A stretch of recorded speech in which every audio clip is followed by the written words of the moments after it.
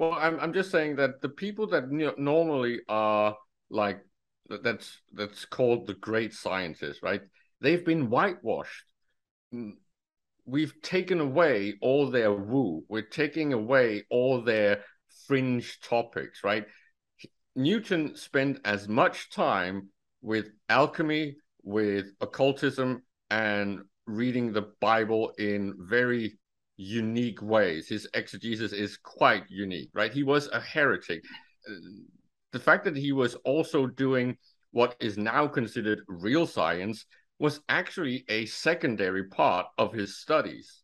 It, yeah. It, it, it was because in, in his time, all these things like astrology or astronomy, well, they were kind of similar. They were very much oh, related. Oh, yeah. There, there was no like closed book on anything yet. So I just get frustrated with the fact that it is a thing that once you reach that, what I would call the high level of proper um, theoretical scientist, right? When when you become really curious about the really complicated, big, unanswered questions, they are all in the same box, right? Whether it's the nature of God, the nature of time, the the the, the meaning of the universe, uh, the meaning of life, all uh, all of these completely out of this world questions that we still really don't have good answers to. But when you start asking these questions, you start looking at all of them almost at once, and they will kind of drive you mad if you're lucky, like some of them are, you will find something profound and you will be able to keep it within a box that is something you can share with other people. So whether you're talking about uh, mm, organizing the nature of uh, of mathematics uh, or um, doing actual um, repeatable experiments on things like optics and the nature of light, or whether you're talking about uh, figuring out how all these astronomical numbers actually can be used to prove a theory of gravity. All all of these things were their little piece of genius. But remember, they did it by simplifying what was known or what they saw, right? It's the same yeah. with someone like um, uh, Mendel when he uh, the nature of genetics have been intuitively known almost all throughout modern or uh, well kind of uh, modern uh, human history right? Since we started breeding animals we've had some idea of what was going on. The way that we interjected ourselves in forcefully selecting for specific traits whether you're breeding pigeons or you're breeding dogs or horses or cows. we did it, right? We we yeah. understood that something was happening in breeding, and there and there was a way to force traits to appear in the next generation. So I've genetics often, was. I've often wondered. You you mentioned Mendel. Uh, you know, I've often wondered if his uh, his uh, realization is something that has been lost and discovered several times. It was. And what makes me believe that is looking uh, in my local area here. Uh, this is where uh, uh maize, uh, corn, was developed over eight thousand years ago, and uh, you know, in the in the book um, 1490. 1490 one i think it's called uh, they talk about you know it's basically about before columbus arrived. Um, uh, the the author says had uh, had this been done uh, the uh, the development of maize uh, today that that would have evoked a nobel prize for for that kind of astonishing Remember, evolution from a from an absolutely useless weed to remember, uh, to the it, corn it, we it, know. They didn't really know how to use his his discovery, and it was actually forgotten for a century, uh, as far as I remember. Right, and then it was rediscovered that that he was onto something, and that's why he's actually uh, uh, got the name on it. Right, but but at his time, there was no real easy way to prove it and utilize it. And, right. and, and and this is why but it was still simple enough that you could actually use it for uh, very selective breeding. And and this is back to what, what you said about rediscovering. I think I think it's about the the what makes something uh, occult knowledge is when it's not yet shareable, when it's not yet formalized in a way where you can uh, multiply it and spread it and make sure that it becomes democratized. The, right. Another great right. example is how long between the invention of the Antikythera device until you got an equivalent mechanical uh, quality in modern uh, clocks or astrolabe, right? It, it it it took many, many, many centuries, right? Almost, I'd say, almost a thousand years. Oh, I, easily. I mean, you you you couldn't be. I don't think uh, uh, Western civilization could produce the Antikythera clockwork uh, until we reached about uh, mid 1600s. yeah, but the point is that, that do that individuals most likely still had some of these things or rediscovered them because many of these mechanical things were are described in uh, being done in uh, Alexandria. Uh, sure. In, yeah. in in the fifth and fourth century BC, so so it's not like it's it's completely out of left field. But this actually enforces what I just said because you had this school of thought where everyone shared knowledge a lot that meant that that it could grow. It became a science nexus, but then it collapsed, right? Yeah. And it's it's yeah. the same with the, the the House of Wisdom in in Baghdad, where you also have this support from quote unquote the government that basically pour money into this, and then you get this blossoming of of knowledge, and then it's lost, right? This is yeah. what keeps happening until the modern age, and and I'm inclined to say that the really kicker is that you don't get the enlightenment until you start being able to share knowledge fairly easily over big distances right so, yeah so and have the willingness uh, have the to willingness so, to yeah. share it because that's been a, and, you know the secrecy uh, you know the the guild uh, uh concept was became so ingrained over time. You know that I, I, often refer back to the book by Arthur Koestler called The Sleepwalkers. You know, and he basically accuses the uh, ancient Greeks. Uh, uh, late uh, late Greeks um, of cowardice because they had the tools to uh, create uh, you know the tools that Tycho Brahe used they could make those uh, the mathematics that Tycho Brahe and, and Johannes Kepler used, they could do that. And, and they basically, you know, there, there was Aristarchus uh, from Samos saying, you know, the sun is in the center, the, you know, there's the everybody else or whatever saying the earth is in the center.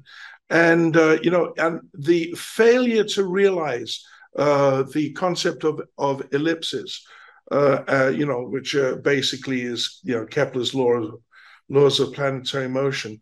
The failure to to pursue that um, uh, and the sort of lo- uh, latching on to the geocentric system, which was actually, you know, way more complicated uh, because they, of course they hadn't done the research you know they they hadn't watched the wandering stars uh, close enough at least as far as we know. You know, so much has been lost in antiquity.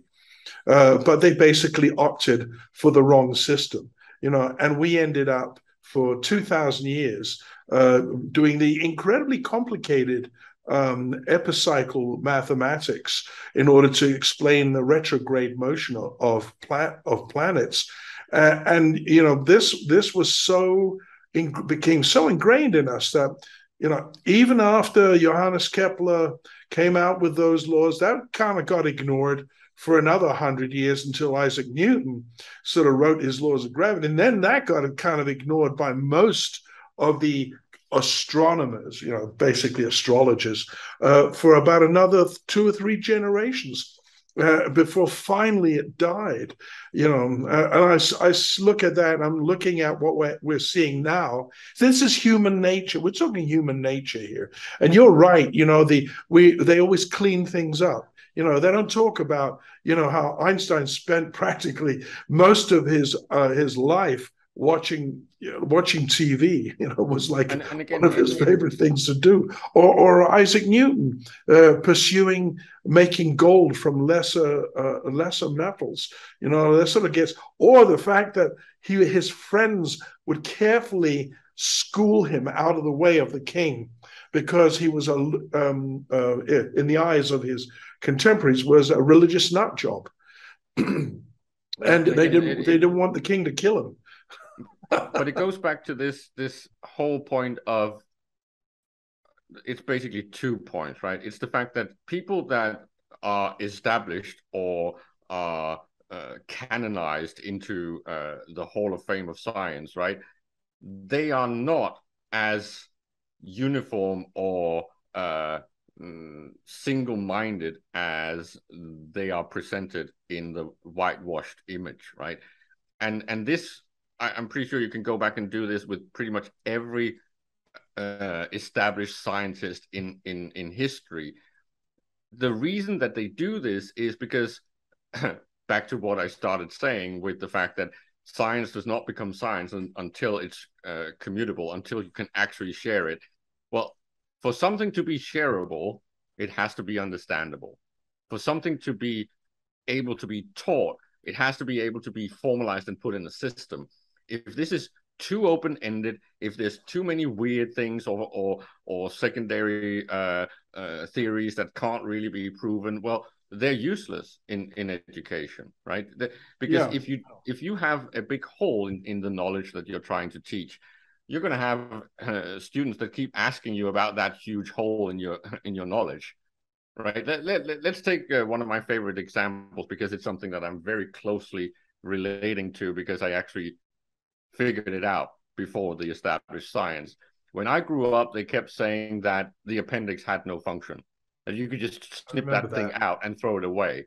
Well, the reason uh, I I discovered that that's not the case is when I was actually in uh, working in fermentation uh, at Novo Nordisk, where we are where we were producing insulin, and the way that you do that is you sit in a lab, you isolate a culture, then you upscale that culture and grow it in a big uh, glass uh, uh, container. And then you take that container and you pour, pour that thing into what was considered a pilot plant.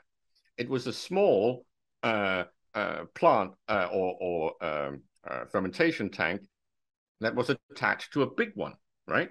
And you just waited and and let it grow in that little one first. So you didn't have the added risk of if if it fails, if the fermentation fails, you didn't have to uh, redo the entire tank, right? You right. can basically just flush that one and then start that one again. And that's so, the appendix.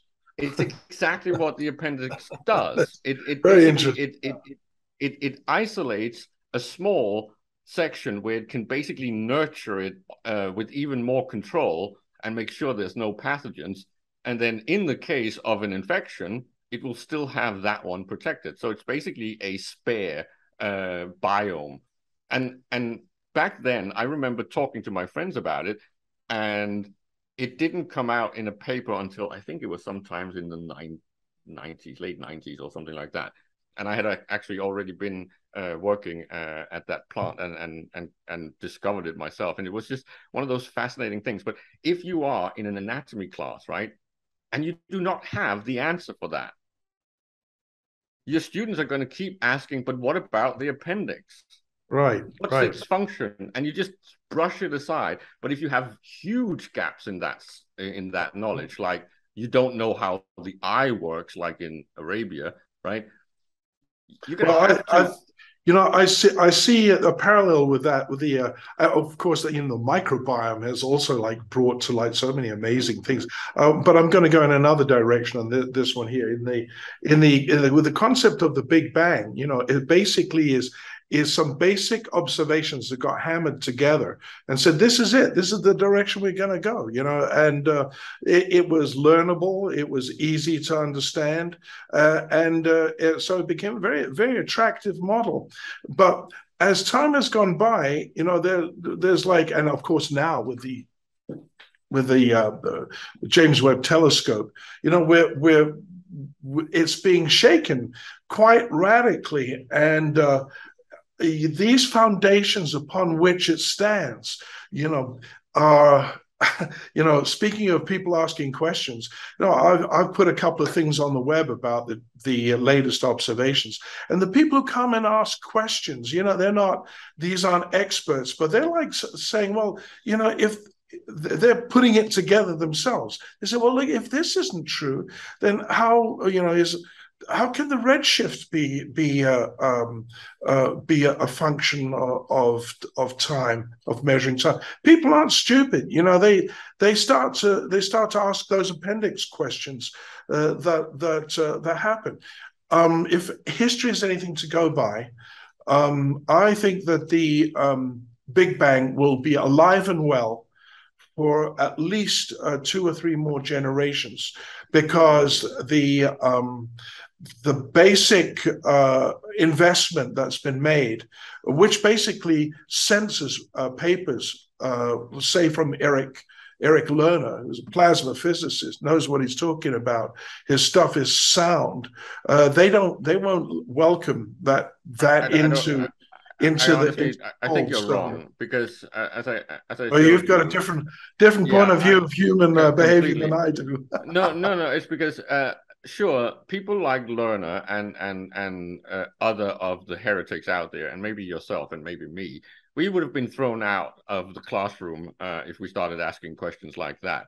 But it's just not true that it's that close because if you start actually looking at uh, some of uh, the the actual academics out there you can say that they're still fringe but they are discussing these things, and this science about the Big, da- Big Bang has never really been closed. It's the same with something like Einstein and, and, and, and relativity and all these things. These things have never really been closed down. It's just that the people that are still bothering asking these questions have been short, uh, sort of sidelined a little bit. And it's not that they're being ignored because they have their own little groups. I I, I think I send you uh, one of the nice documentaries that actually tries to go through all of yeah. these. Uh, they they get published in electrical in electrical um, not necessarily uh, journal, journals. They don't no, get published. Hey hey, they don't get published. They do not do. get published in astro. Yes. You show yes, me an Eric Lerner uh, no, no, no, not Eric uh, Lerner. Eric Lerner is is, published is publication in any of the in any of the uh, um, contemporary uh, as cosmological I, am trying to get to I'm trying to get to the point, right? The the people like Lerner, the people like Nassim Haramein and and other people that actually start out in academia and then go completely overboard and just start challenging everything with without having a ground to stand on first. These people get ostracized. That's true. They do. But that's because they are trying to sneak in, uh, again, back to Newton. They're, they're trying to sneak in uh, discussions about the eschaton and the end of days into a uh, mm, Royal Society's lecture. That just does, does not belong there. If you're if you're here to tell us about general relativity, you're not supposed to start proving why uh, the Earth is older than 6,000 years. That's not your job right now. Stop mixing the things. Stick to the topic. And, and there's plenty of theoreticians out there that are getting published, that are reading each other's work and trying to um, have a discussion about things like uh, whether you're talking about the, the nature of the vacuum or uh, empty space uh, Voronoi foams, uh, Casimir effects, uh, uh, quantum gravity, uh, string theory. Yeah. All of these things are the tangible there. things, the tangible observational things that you know that are should be in the forefront. Uh, but yeah, what yeah, but we you get, also have what, uh, you also have the people talking wait, about on what we get what we get in um, in uh, the uh, um, in the Big Bang is you get a basic foundation, and then you know like some things don't seem to fit, so you make up something you know like inflation uh, and and the Dark Ages to uh, make to put this thing together so that it has some uh, possible credibility. But when when the holes get poked in it, you know, you would think at that point there would be an openness to new thought. Uh, like Eric Lerner, who, who's not new thought. He's been around for 30 years that I know of, and I've been I've been following for a fair amount of time. Uh, what you get is uh, is a a closed school. Well, and but- just like with just like with the with the uh, ge- geocentric uh, system, it has to be protected, and it is protected by the uh, the group think uh, of the of the collective, and of course you have, as I've mentioned before, you have the group think guardians who block anything new or anything. And i'm talking observational evidence here. I'm not talking about like some you know harebrained uh, you know what if it's a parallel universe and there's other infinite U's, which may be true or maybe not. But we're not talking about that. We're talking about absolute absolute observations that have been uh, that have been made and ignored. And that's why that's why I know it to be, you know, it's really the Big Bang that is the heresy. It's just that there's it has such a following and is so ingrained in our society that it's not going to be let go of anytime soon. I just don't agree with you on on this part because I I feel like mm, you're protesting the the ostracizing, which is understandable, but you're doing it uh, on on the basis of saying that it's all about groupthink. I don't really think so. I I think the whole point of science goes back to the fact that you can come up with an actual theory that either has to be nearly self-evident. So something that's so obvious that it proves itself that you've really got a a stroke of genius. But otherwise, if something is too weird to the current way of thinking or established knowledge or even the the scope of current um well consensus right take something like um, you must be able to remember back in the day when well maybe not that way uh, far back but how the whole term of fractals came about. This was one guy sitting there looking at some weird math and then starting to try and graphic, uh, graphically represent it, right? And and and no one could really understand what he was trying to do because he could only work within a certain range, right? Because you just can't do by hand a million calculations.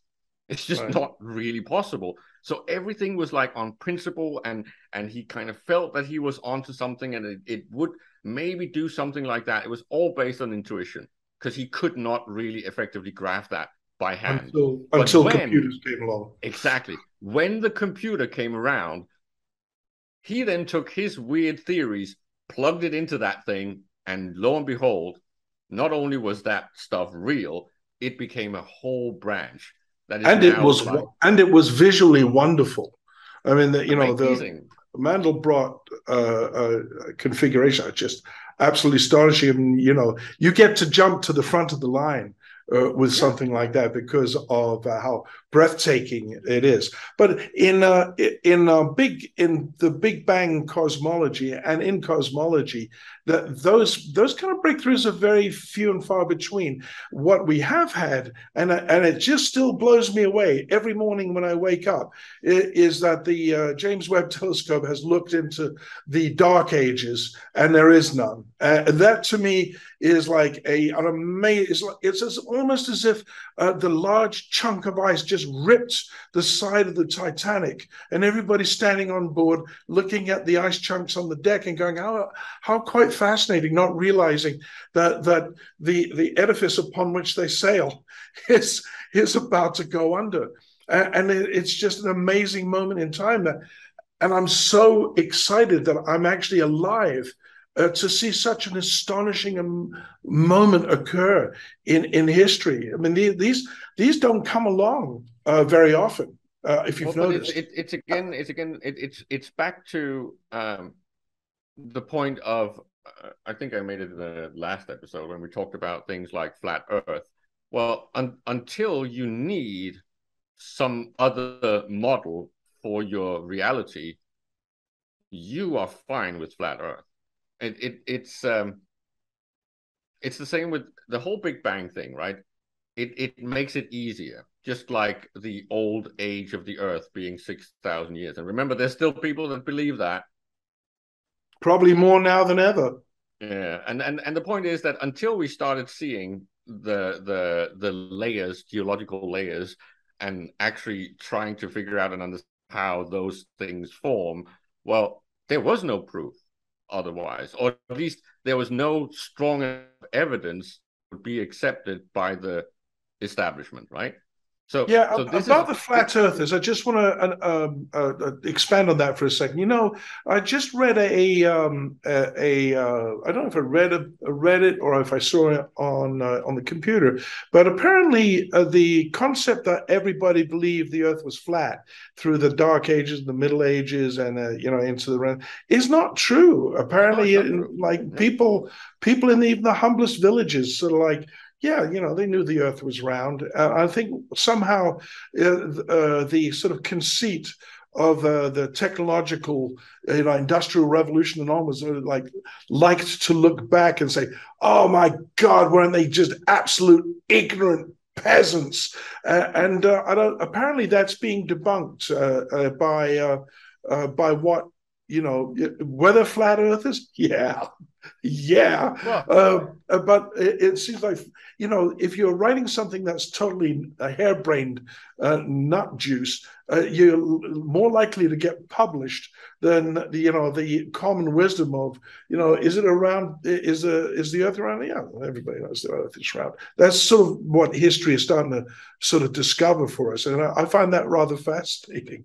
But it, it, it the, the problem with things like the deep cosmology is that if you when you start expanding into something like deep time whether you're talking geological deep time evolutionary deep time, uh, or you're talking about cosmological deep time, you always seem to end up with the problem of infinity if you start opening up the door ajar, right?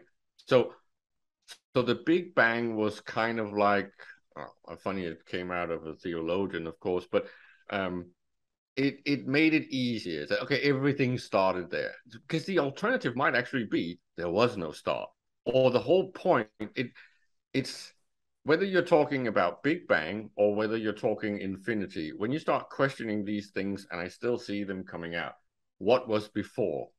Well if if there's a start time there is no before.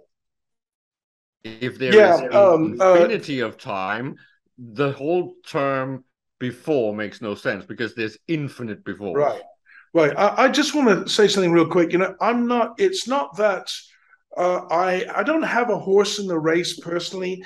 Whether there was a big bang or or if it's infinity, I'm just saying that this model of what a big bang was is turning out to be a boondoggle this yeah. this version of what maybe in the future they'll find something else but the uh, this one here you, you've you've got to be suspicious from the very moment of its creation when it you you know you're looking at a, a Belgian Catholic priest saying you know uh, you know here's the concept uh, and the Catholic Church going, oh yeah, that's great. The first three words of the Bible in the beginning. I mean, you can, and it's incredibly attractive to the human soul because we have we have an absolute sort of faith in the idea that there's a beginning and there's an end. I mean, you look at anything in nature, you know, from a snail to a porcupine, you know, they have a beginning, they're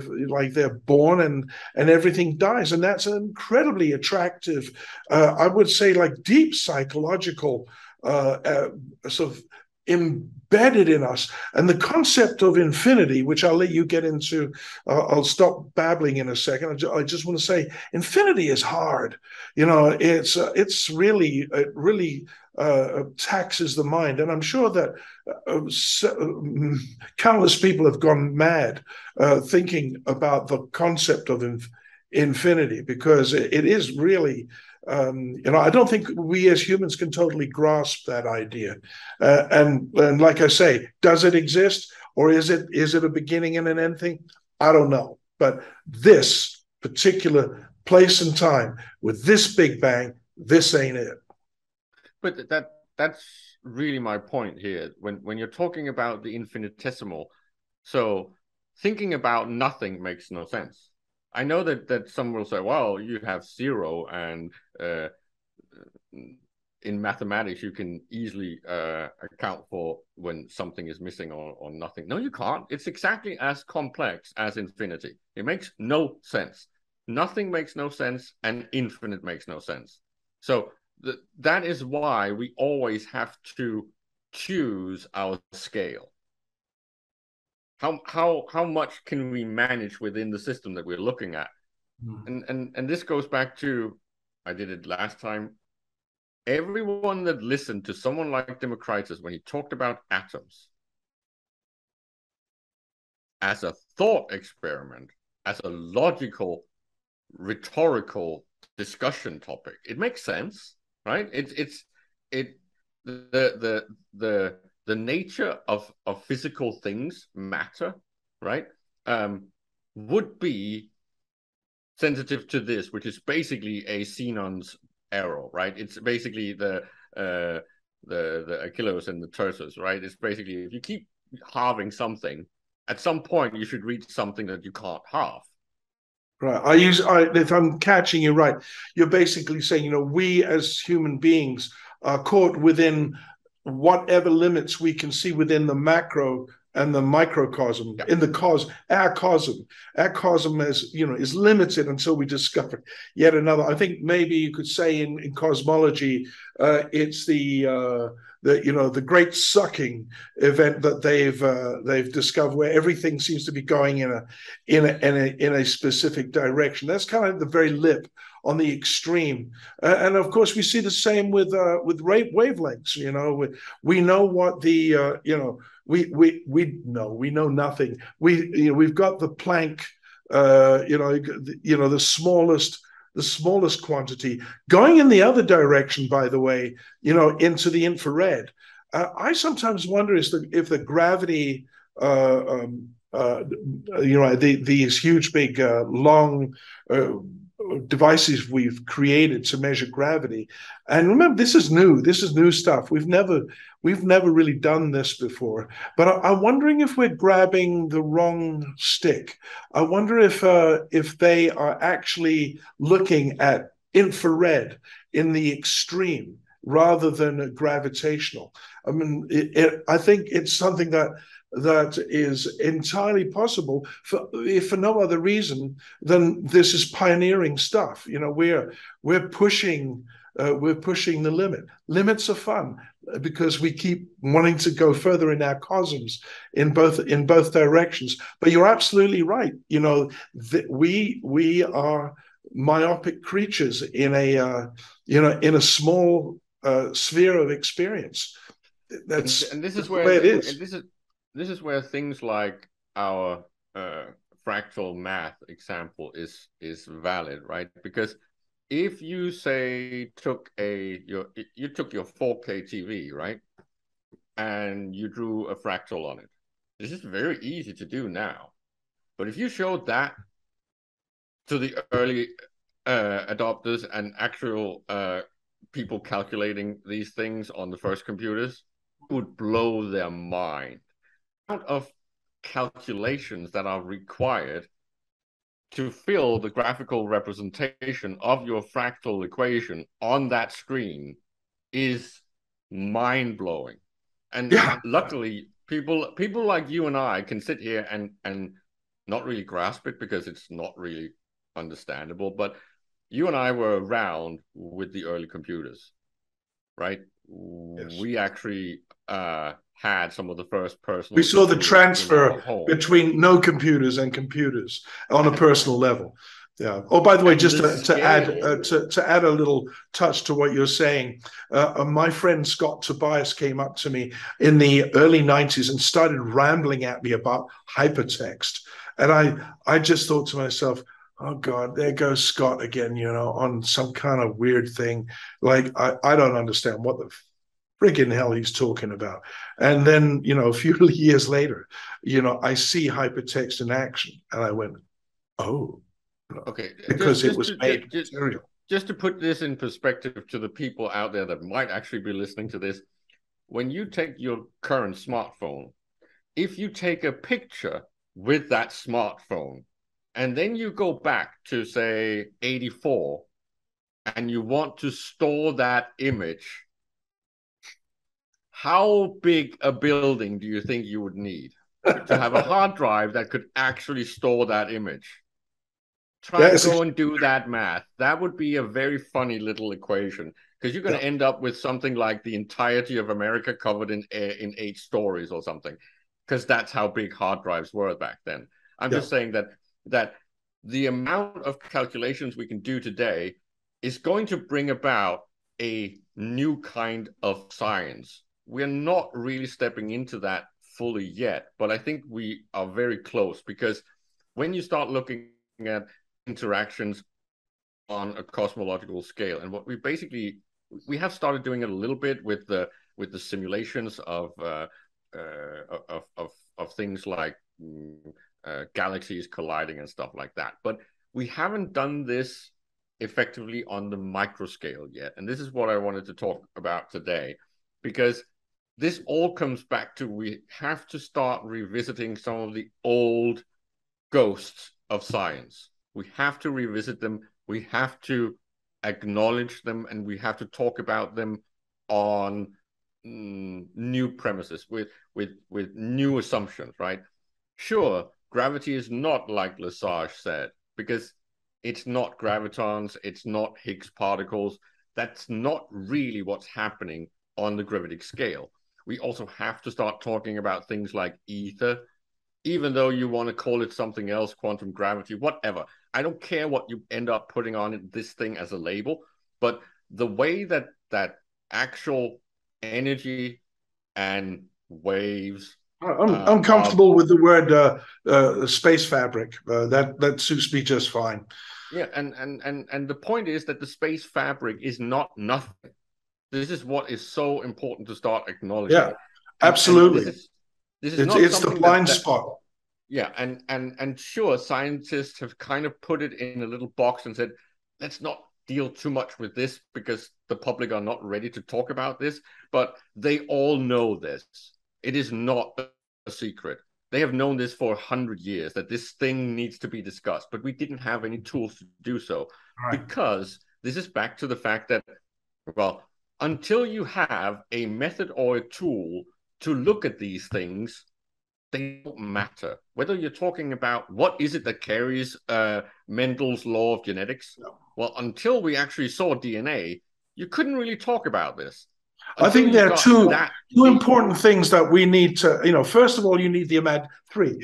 First, you need the imagination. Second thing you need is the observation, the tools to see it, and the the the third is to put it into some kind of uh, of context once you know, you know, because there are various ways you can interpret observation. So you know you have to, uh, an observation has to fit in a jigsaw puzzle into into a larger jigsaw puzzles of other observations that fit hand in glove. If they don't do that then you, you know you've got to go back to the drawing board. You can't sit there trying to hammer uh, you know round pegs in square holes. And and uh, again it's the human condition that we tend to do that. Now you have more, you have an optimistic uh, approach to to it, and I, I well, admire that. I, I, and you may be right, and I'm hoping you are. Well, I see all the parts being almost ready, right? So you will hear cosmologists talk about this uh, concepts like uh, the flatness of the universe, and this already gives most people the headache, so they just push it aside and say, "I can't talk about this."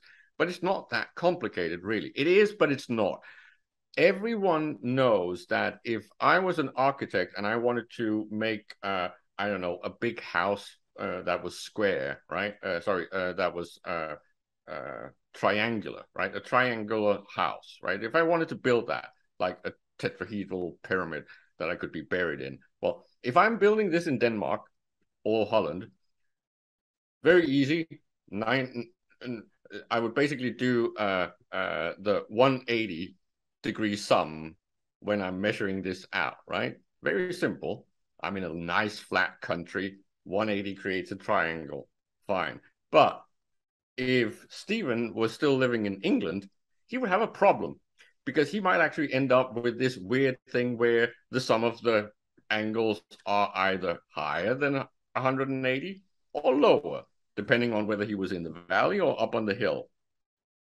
So this is the nature of um, Euclidean oh, and flat geometry, right? So so this is very very easy to understand topography. If you're in something that is a valley, it will be narrower. If you're on a hill, you will have a bigger sum, right? When you're drawing your triangle. Now comes the kicker, and this is where it gets strange and a little bit hard to imagine, but it is the same thing in a higher dimension. When you go up a dimension, it it's the same problem. I see what you mean. Right. Yeah. So yeah. Yeah. if I say that in this solar cavity, so inside uh, the heliopause, I'm saying, well, in this space, the mm, curvature of space is less than flat. But outside, it's higher than flat.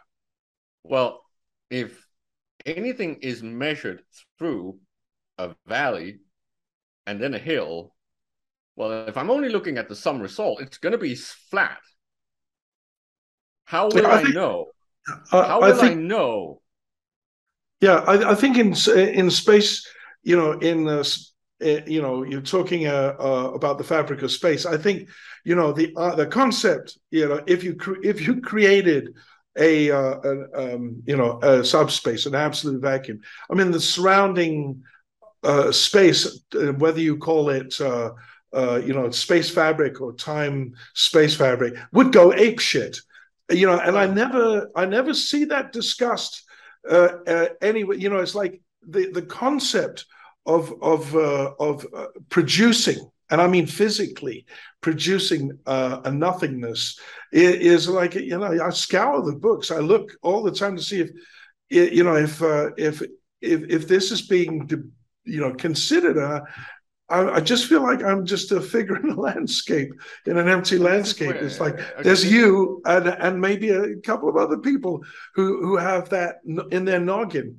You know, well, and, it's because it, it, it because it, it's because it, it's you need to start looking at the, the the macro analogies and we know that the universe seems to like to do things in scalar uh, effects so small scale big scale but similar principles very much the same thing it it it it, it mirrors just on a on a on a on a new scale and a new layer. Different manis- different manifestations uh, in uh, in through the macro to the micro, right? Yeah. yeah and and again, this is back to the fact that uh, when you go and watch uh, uh, Star Wars, right?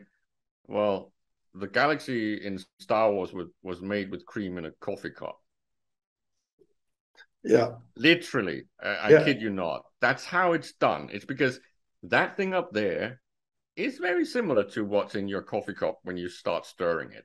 The point is, we need to look at these analogies and then start to see, okay, this is the type of of of science and math that we need to understand these things. And this is what I think when when when the theory of of the quantum foam and also called the Voronoi foam, which is basically that space is foaming down at the sub Planck level. Yeah.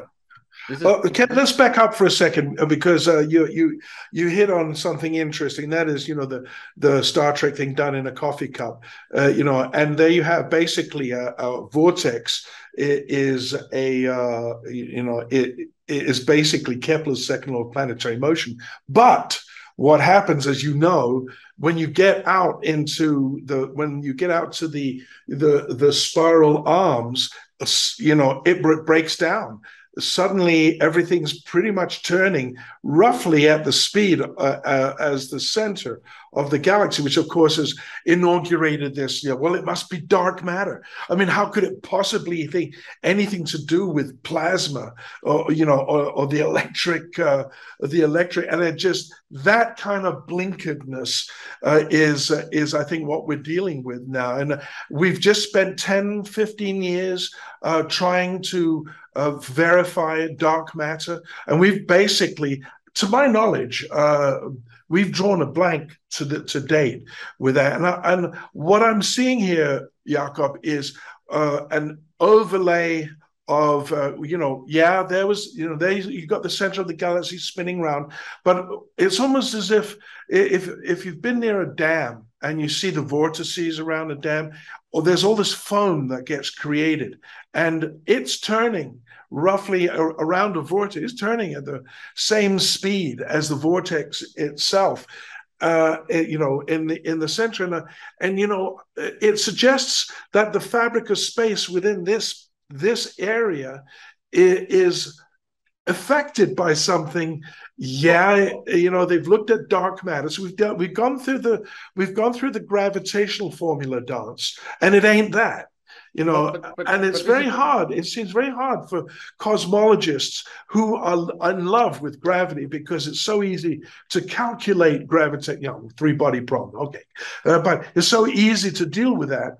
But when it becomes messy when it becomes uh, when you're dealing with um, when you've scaled up bubbles uh, next to each other, you know, foam, the, the foam. Uh, when you get out to, to that layer of of trying to mathematically understand it, and we don't have the tools for it. There's sort of like a collapse in uh, in cosmology because you know we don't have the knowledge of plasma behavior. We are we sure you know we know of double layers. You know there are things that we do know, but you know the uh, you know we know of plasmoids you know we know something about it but we don't know enough and we're sort of caught in a in a sort of a stasis at the moment in terms of how the the uh, the gal- how gal- galaxies manage to pull off this trick.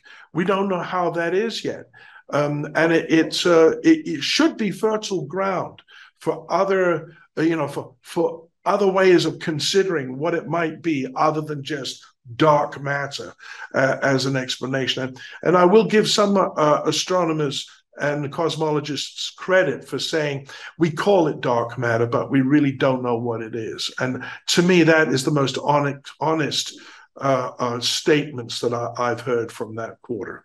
Well, I think I think my, my point of view is, and I, I, I could be completely wrong, but I've I, I got a very strong sense that if you start looking at these things when you take things like the quantum foam into your considerations and how the, this thing must be seething and basically theoretically have well not infinite energy but a very large number uh, uh, of energy available per cubic centimeter um, the whole zero point discussion. But but my, my point is really this. The the only way you can access this is the same as go all the way back to one of the very old thermodynamics thing with maxwell's demon that is standing there opening a little door um, well, the only way you can get access to this vacuum energy, this this zero point energy, is when you have a difference, because otherwise it can't make any work. This is this is like science 101. This is not complicated. Well, you will not be able to to utilize the zero point energy if you're seething in it. You have to have access to somewhere where there's a difference. This is also true in, in, in electronics, right? Pressure. If you have an ele- electric uh, uh, differential, you're, you're not going to have any fucking work being done.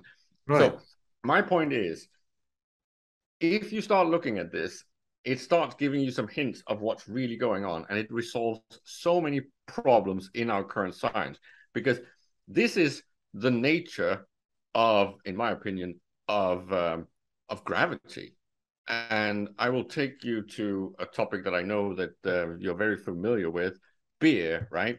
How do you get a, a, a poured draft beer to stop foaming? You put your finger on it. This is one of those very old ones. But the point is that as soon as there is something that the that the bubbles and the foam can actually collapse around, it will collapse around it. And no. this is similar when when when you have uh, if you have a foam with a certain call it foam density, I'm going to call it energy density just so so we can start moving forward. If you have one foam with one energy density and another foam with higher or lower energy density, you will have work going from one direction to the other. This will express itself as a call it a gradient that will actually arise as gravity. This is what gravity is. And as soon as you have a physical medium, so matter, matter is basically something that is pulled out of the vacuum. And it is something that is less en- energy dense than no matter. So what you then get is you get the actual dense, energy dense foam pushing on the body. This is true whether you're talking about a neutron, whether you're talking about an electron, whether you're talking about uh, a star or a galaxy. You will have this gradient and it's going to behave and push on everything that it can in a similar way to um, almost like osmosis, right? No one would challenge the theory of, of how osmosis works in water based on some, well, what about the particles moving that's going to heat up the water? No, it's not. It's going to be trying to move from one salinity to another.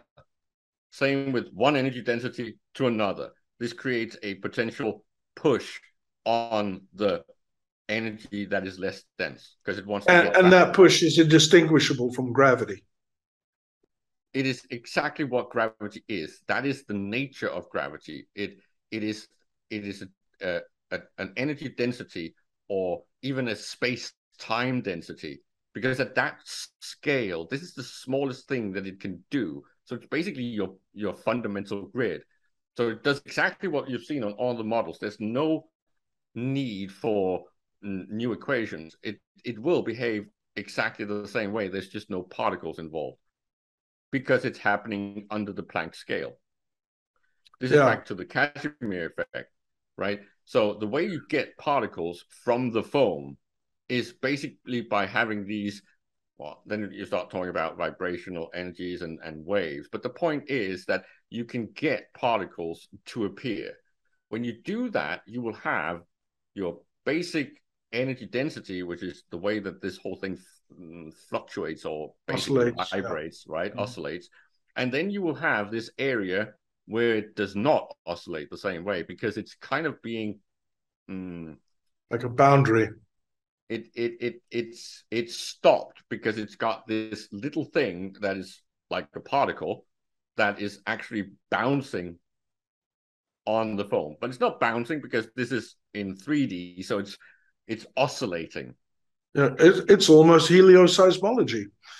And and this is where you get to other experiments. If you start looking at what happens when you try to do this with a liquid uh, in what's called the singing bowl experiment uh, what you basically get is you get this this strange surface. Of course, in space, it's not a surface; it's a brane, right? You get this brane situation where the brane state is able to hold particles, in this case, bubbles, on top of the oscillating surface. So you get a surface with a new surface on top. But at that point, it hinders the oscillation. So that means that the base oscillation of the entire ball is hindered at this small area around the particle that's on top of it. And then you get to things like the pilot wave uh, experiment that actually also explains, call it a macro scale version of the two slit experiment. This is back to the point that every time you have a particle, a particle is weird because it is a particle is a potential wave and a wave is a potential particle. Yeah, you know, it's interesting. While you're saying that, just thinking like how everything is an oscillation. Like, take for instance, you know, um, you or me. You know, we wake up in the morning, and then we go about doing whatever it is, brushing our teeth, and then going to work or whatever you're doing, and then you come back into a um, a sort of an inner circle area where you oscillate inside your house, you know, and you're oscillating there, and then you sleep, and then you oscillate within this envelope, and then you oscillate outside of this envelope. And it's so interesting that you can you can take the oscillation concept to almost uh, like uh, any realm of the micro and macrocosm. Uh, I'm uh, I don't know if you I've just been reading up on. Uh, they've discovered that protons have a bucket load more gluons in them than they hitherto thought. Uh, and I just thought, you know, they're just interesting how they, you know, they find. And I have to say, past the electron and proton to to me it's almost all greek you know the the leptons and the muons and the gluons and, and all that but i you know i just sort of follow it vaguely but you know you know all these things oscillate and, and a friend of mine uh, david mcclintock yesterday and we chat from time to time. We were both joking over the fact that you know an, an electron oscillates. I think it's one to the seventeen times a second. So as it oscillates, in there's there it is. There's your uh, electron. Now it's gone for one times ten to the seventeenth second. Um, and then it's back again. So it could be maintaining uh, point on my nose here. And then for another one uh, 10 to the 17th, uh, 10 to the uh, plus 17 seconds minus 17 seconds would be on ja- Jakob's nose for a split second. And now just take all the electrons there are, and they're just busy building everything all the time. So that, you know, you're really, you know, uh, you, you know, the, the, the electron says, nice being here sorry, I got to go. There's a bucket uh, over on the east side of London uh, that I have to be part of the handle of that for a split second, then I'm off again. And so it does all these chore, chores in uh, one times 10 to the minus 17 seconds. And it's like, and my friend said, well, maybe you only need one electron in the entire universe. well, and, and, and that's again back to the whole point of when you're talking about this, when you look at these scales, time loses its uh, it, it, it it's a boundary uh, event where things down there are happening so fast that you can say they're near instantaneous. And if you're talking, as soon as you start going towards that, then you're at the problem. If it became infinite, then there's only the need of one particle. Yeah, yeah. The entire universe. But, and uh, so, it, so it, the the point I'm I'm trying to make here is that we do have the analogous models to start coming up with a theory that is better than what we had. Basically, in my opinion, what we have been working with when you're talking about something like, uh, well, whether it's Einstein or Newton, is comparable to Einstein or Newton trying to work with Aristotle's uh, gravity model. That that's how different it will be. If you sure. start looking yeah. at this, then you will also be able to understand so much more about the behavior of matter, the reason it does what it, what it does, and of course, there's also hints in in plasma physics, but plasma physics gets a little bit more tricky because it's a macro scale of many particles moving at extreme speeds. But it it does a lot of the same things, right? So whether you have a lot of electrons on uh, as a charge in in a layer uh, uh, in the air, and it creates uh, a lightning bolt, right? When it basically discharges uh, in, into the Earth. Well, the way that that plasma seems to move is very similar to how a galaxy actually moves through space. The point is, there is no such thing as constant cycle or orbits. Mm-hmm. No orbits are stable. I know that that that that a lot of uh, people out there likes to think that the Earth just is in a stable orbit around the sun. That's just not true. It's only yeah. true because you're looking at a very small scale. Yeah, Milosevic uh, sort of has pretty much uh, sort of uh, proven that. Uh, I just want to say, you know, one of the things that we're, you know, we're both we we're both talking about from time to time is is the, the something that we really have only just started to grasp is the instantaneousness of entanglement uh, and how that fit fits in to to this uh, picture of the uh, of the cosm, both in the micro and the macro sense. Um, I suggest. Uh, uh, just, uh, hang on a second, uh, uh, Jakob. Just I just want to say, uh, on a practical level, we're we're sort of at the end of an hour and then a little bit more. So I want to let's let's let's summarize for for now, and we'll we'll we'll be back next week with another exciting edition. But let's give it two more minutes to to finish up. I just wanted to close it with the, the, the point that everything that is in an orbit is either uh, moving away from or collapsing into its central focal point. Stable orbits are only stable because our scale of time is just too limited. So whether you're That's talking right. about the moon moving either away from us with three centimeters per year or one centimeter per year, doesn't matter. It's still the same thing. It's just because time gets uh, expanded instead of compressed. And and in a, and in a uh, few sentences, you've basically described that everything oscillates. everything is it, an it, oscillation. It, it's all oscillation. It's just a matter of on what scale. And and and and what I wanted to to do is take us back to the fact that many of our theories always tend to assume these stabilities, limitations, and looking at a system only within a certain box. And that's fine if it's useful.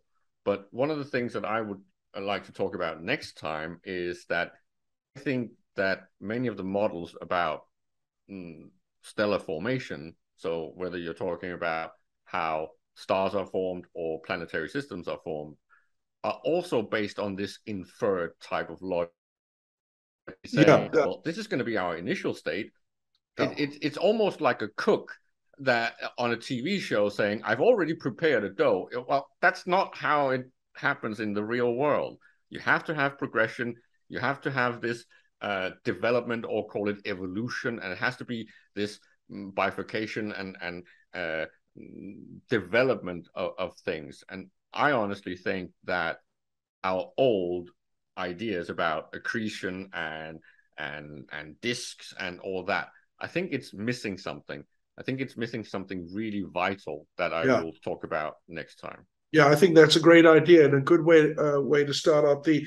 Uh, i will start off uh, as well next week with a little bit on on the uh, the uh, Stella, the Heisenberg, uh, uh, no, the sorry, uh, the stellar chart, God, how how uh, how your brain starts to dissolve when you start to reach the age of 70. Uh, but anyway, I'll talk, talk about uh, a little bit about stellar evolution too, starting next week. So uh, you and I can continue, but I'm going to say goodbye to everybody who is presently been watching this and hope to see you in the next uh, realm of time.